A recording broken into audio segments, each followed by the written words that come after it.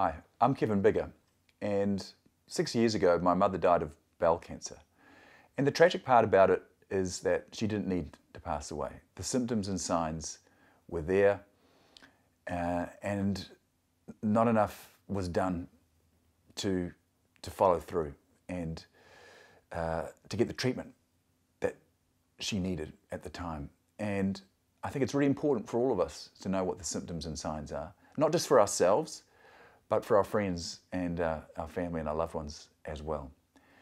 And I think if we can do that, then if we can catch it early, it's one of the most maddening things about bowel cancer is that if you catch it early, it can be cured. Uh, in a lot of cases, people don't need to die. Not so many people need to die and miss seeing their grandkids grow up. That's what happened to mum.